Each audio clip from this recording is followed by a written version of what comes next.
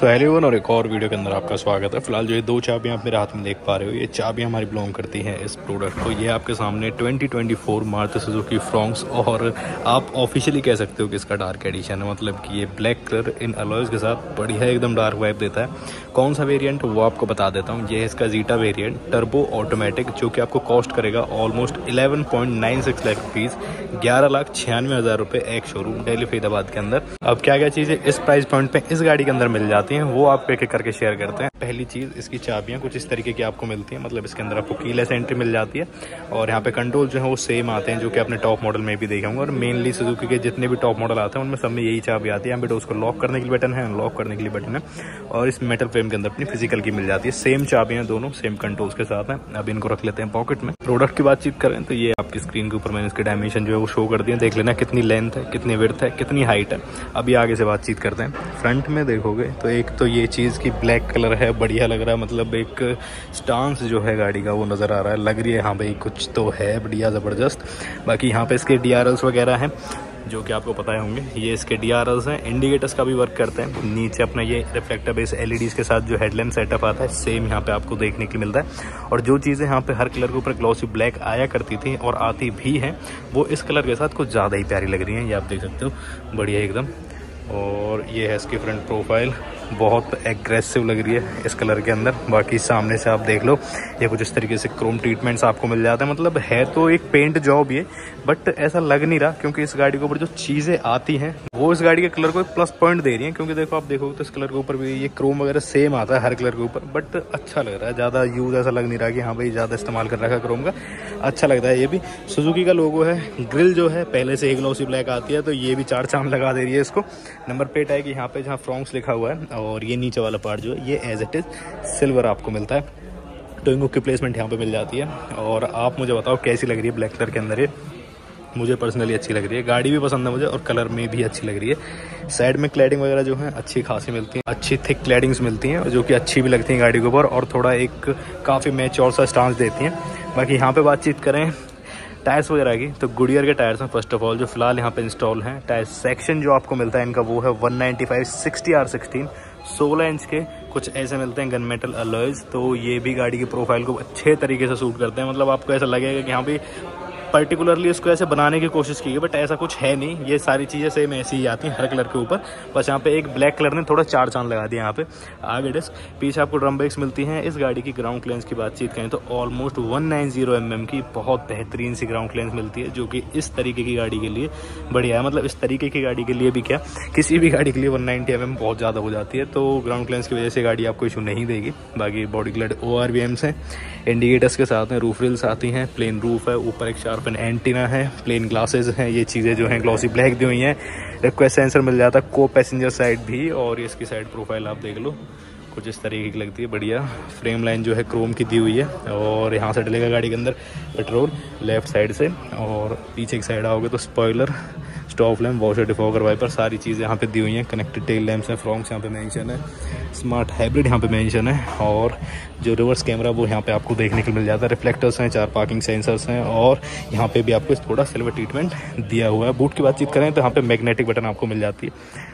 और यहाँ पर रिक्वेस्ट सेंसर भी है। मतलब अगर आपको इंडिविजुअली अपना बूट खोलना हो तो वो भी आप कर सकते हो। पार्सल ट्रे है सिक्सटी फोर्टी का ऑप्शन है। Almost three zero eight litres की बूट स्पेस आती है।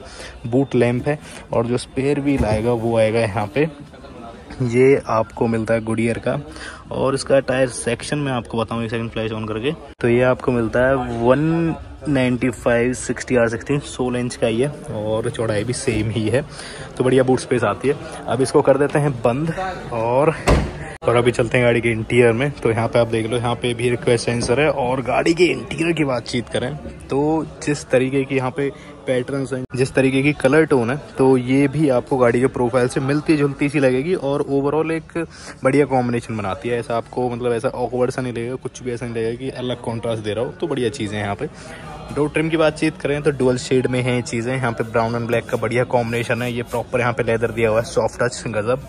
यहाँ पे अपने चारों पार विंडोज़ आपको मिल जाती है। यहाँ पे ड्राइवर साइड विंडो जो है आपको ऑटो मिलती है। विंडोज़ के लॉक में डोर्स के लॉक में ओ आर को आप यहीं से फोल्ड अनफोल्ड एडजस्ट कर सकते हो। यहाँ पे क्रोम डोर लेवर है स्पीकर है बोटल होल्डर है। सीट्स की बातचीत करें तो ये आपको six way manual adjusted fabric seats मिलती हैं। यहाँ पे आप देख सकते हो बढ़िया पोस्टिंग वगैरह इनकी दी हुई है।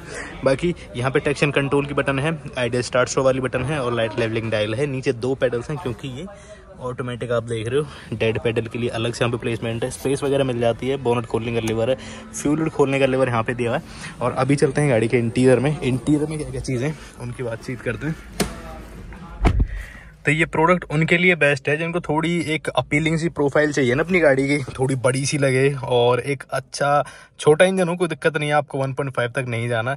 1.2 में आपको एक रिलायबल इंजन चाहिए, जिस पर आप ट्रस्ट कर सको तो भी आप ये गाड़ी ले सकते हो। बाकी ये तो टर्बोचार्ज इनके साथ आता है, बाकी इसमें आता है वन लीटर्स का भी तो वो भी आप कंसिडर कर सकते हो। तो ये मैं आपको अभी ऑन कर दिखा देता हूँ, यहाँ पे आती है इंजन स्टार्ट स्टॉप बटन जैसे मैं एक बार ऐसे प्रेस कर दूँगा स्टेयरिंग व्हील जो है अनलॉक हो जाता है। इन्फोटेनमेंट सिस्टम जो आता है, यहाँ पे ये ऑन हो जाता है, कुछ इस तरीके से। और सेकंड टाइम जब मैं इसको ऑन कर देता हूँ तो ये सारी चीज़ें यहाँ पर ऑन हो जाती हैं। आप देख सकते हो एसी वगैरह, ये क्लस्टर के अंदर लाइट आ जाती है। यहाँ पे डुअल डायल्स आपको मिलते हैं आरपीएम के लिए और अपना स्पीडोमीटर के लिए। तो यहाँ पे 8000 तक के आरपीएम है 220 की टॉप स्पीड मार्किंग बीच में स्मार्ट हाइब्रिड मेंशन है, ये प्रॉपर सब कुछ एनालॉग है तो यहाँ पे टेम्परेचर और फ्यूल ये भी आपको एनालॉग फॉर्म में ही मिलेगा। बीच में एक एमआईडी आती है, जहाँ पे आउटसाइड टेम्परेचर टाइम क्या है पावर फिगर्स क्या डेवलप कर रही है गाड़ी, और अभी कौन से मोड पे तो ये पी पे खड़ी हुई है फ़िलहाल तो यहाँ पे पी लिख के आ रहा है। तो ये सारी चीज़ें हैं, बाकी और जितनी बेसिक इन्फॉर्मेशन है, वो सब आपको यहाँ मिल जाती है। ये स्टिक्स वगैरह हैं, जिनके थ्रू आप अपनी ये इन्फॉर्मेशन सेट सेट कर सकते हो। यहाँ जाते हैं वाइपर्स के कंट्रोल यहाँ पे हेडलैम्प्स और इंडिकेटर्स कंट्रोल ऑटोमेटिक हेडलैम्प्स यहाँ पे आपको ऑफ़र हो जाते हैं। पैडल शिफ्टर्स आते हैं क्योंकि टर्बो चार्ज इंजन के साथ है तो ये आपको पसंद आएँगे थोड़ा आपकी पावर को मतलब थोड़ा पावर तो गाड़ी के अंदर है ही। बाकी आप अपने हिसाब से इस गाड़ी को मतलब चला सकते हो। जब आपका मन किया ड्राइव करने का मैनुअल तरीके से आपको चलाना हो तो आप अपने हाथ से गियर शिफ्ट कर सकते हो माइनस और प्लस तो एक अच्छी चीज़ मुझे लगती है पर्सनली किसी किसी को पसंद आती किसी किसी को नहीं भी आती बाकी यहाँ पे फ्लैट बॉटम स्टेयरिंग व्हील है, इसके ऊपर कोई लेदर रैपिंग वगैरह नहीं है। अपने मीडिया के कंट्रोल्स हैं फ़ोन उठाने काटने के लिए बटन है वॉइस कमांड का फीचर है। क्रूज कंट्रोल नहीं है। एयरबैग के यहाँ पे आपको बैजिंग मिल जाती है। एडजस्टमेंट किसकी बात करें तो टिल्ट एंड टेलीस्कोपिक दोनों ऑप्शन आपको मिल जाते हैं। ये भी अच्छी चीज़ है। बाकी डैशबोर्ड एक सेकंड दिखाता हूँ, ऊपर से हेडलाइनर वगैरह आप देख लो पहले। तो थोड़ा लाइटर शेड में ही है, बाकी ओवरऑल जो गाड़ी का केबिन है नीचे का तो आप देखोगे ज़्यादातर चीज़ें जो है थोड़ा डार्क कलर में कुछ कुछ चीज़ों को छोड़ के जैसे कि ये सिल्वर पार्ट यहाँ पे देखो तो ये और ये दोनों चीज़ें मिलकर बढ़िया सा बैलेंस बनाती हैं गाड़ी के अंदर। मतलब ना तो आपको ऐसा लगेगा कि ज़्यादा अंधेरा सा हो रहा है, ना आपको ऐसा लगेगा कुछ ज़्यादा ही ब्राइट है तो बढ़िया बैलेंस रहती हैं चीज़ें। बाकी यहाँ पे रीडिंग लाइट है, यहाँ पे भी रीडिंग लाइट आपको मिल जाती है येलो कलर की दो, कुछ इस तरीके से।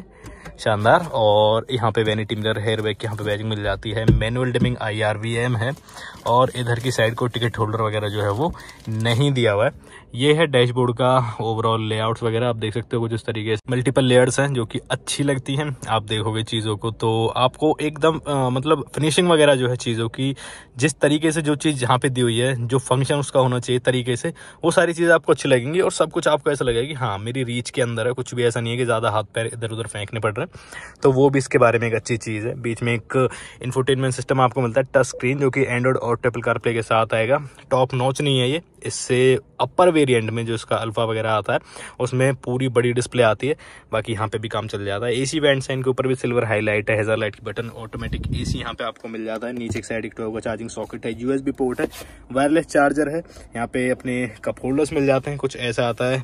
Automatic gear lever P R N D M के सिम्बल्स यहाँ पे दिए हुए हैं और हैंड ब्रेक अपना क्रोम टिप के साथ। आर्म रेस्ट है स्लाइड हो जाता है।